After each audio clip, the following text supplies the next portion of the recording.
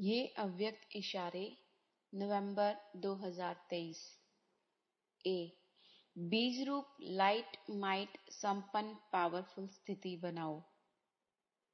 Number 11 बीज रूप स्थिति का अनुभव करने के लिए एक तो मन और बुद्धि दोनों को पावरफुल ब्रेक चाहिए और मोड़ने की भी शक्ति चाहिए।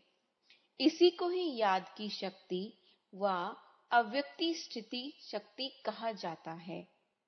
अगर ब्रेक नहीं दे सके तो ठीक नहीं।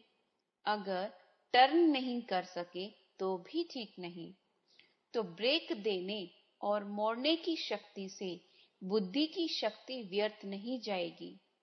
एनर्जी जितना जमा होगी, उतना ही परखने की, निर्णय करने की शक्ति बढ़ेगी।